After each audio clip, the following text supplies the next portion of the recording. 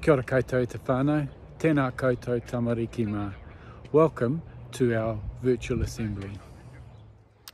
Right, back at home now. Um, I thought I would take you on a tour of my bubble and what we've been up to during lockdown. So, here's my whare. Here's the street I live in. Nau mai haere mai welcome. Come in. So here is where I have been working at home during the lockdown.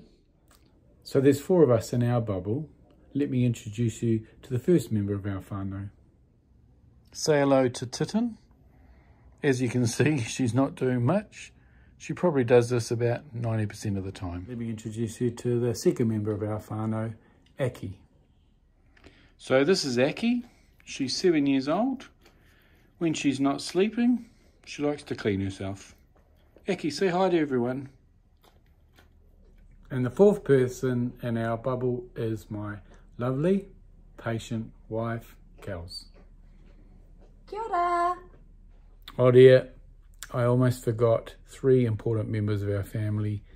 How could I forget Ted, Lammy and Tiger? Here these three little rat bags are hanging out on the couch watching a bit of TV. So what can you do to help your family while you're in lockdown? I think the easiest thing we can all do is look after our own belongings and make sure we keep our bedrooms tidy.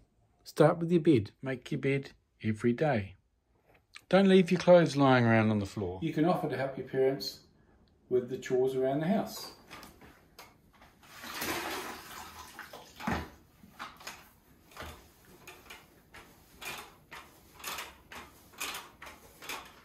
Course, you can always help with the dishes.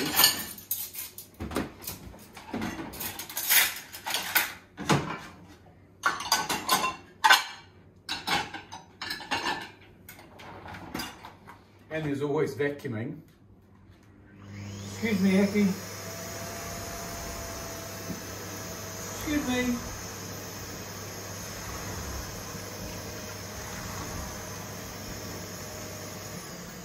Thanks for your help, guys.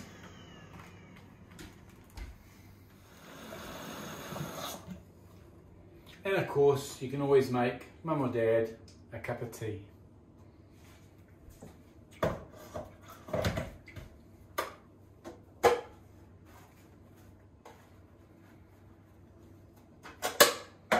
One sugar or two, dear? One.